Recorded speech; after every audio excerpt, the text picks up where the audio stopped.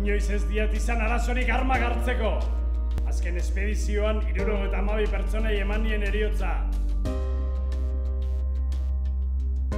Eta ez izan zalantzarik, garaipena gura izango da!